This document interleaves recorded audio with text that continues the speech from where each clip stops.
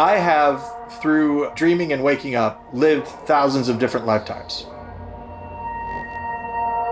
There are fundamental metaphors about reality, waking up from a dream. We have this cognitive experience of shifting between realities. There's another world behind this world.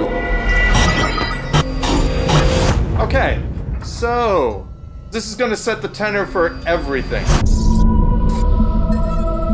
We are living in a computer programmed reality. Simulation theory is the idea that this is all fake. The Matrix was real. We are being inhabited by some sort of player. I would start giving myself tests. I'm thinking of someone and I turn the corner and there they are. The only clue we have is when some alteration in our reality occurs. We are living in a simulation. Okay. So what do I do with that? I don't know. Enjoy it. Simulation theory is a blending of religion and science.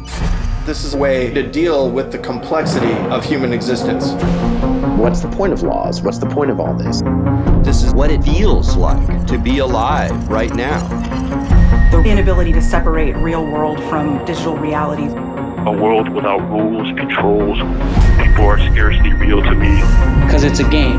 There's a lot of very dark forces on the horizon. There are things that are trying to manipulate me. This world is capable of falling apart. Somebody's got to be putting their hand on the scale. The creator of the game.